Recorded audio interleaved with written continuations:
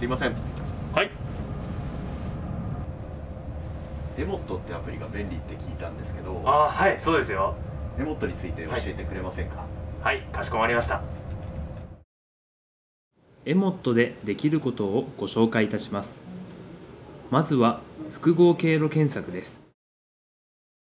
電車やバスだけではなくタクシーやシェアサイクルなどさまざまなモビリティを使った経路検索です2つ目はデジタルチケットです。スマートフォン1つで購入から利用まで完結する新しい形のチケットです。これまでは窓口やお店に行かなければ買えなかったチケットもエモットなら時間も場所も気にせず購入ができます。3つ目はオンデマンド交通です。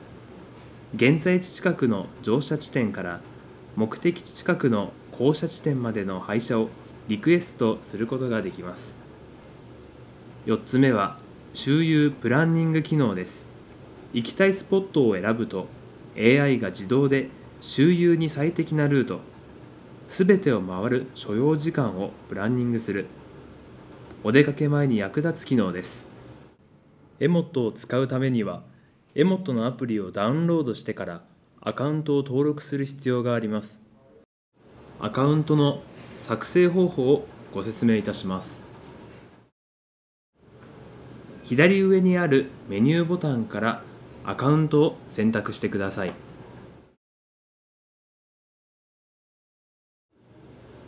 みログインをタップしてください。メールアドレスを登録していただくか SNS アカウントなどでアカウントを作成してください。クレジットカードの設定方法についてご説明いたします。エモットで各チケットを購入する場合は決済用のクレジットカードを事前に登録する必要があります。ありがとうございます。どうですか？エモットは。非常に便利ですね。ありがとうございます。ぜひ使ってみてください。これからが楽しみです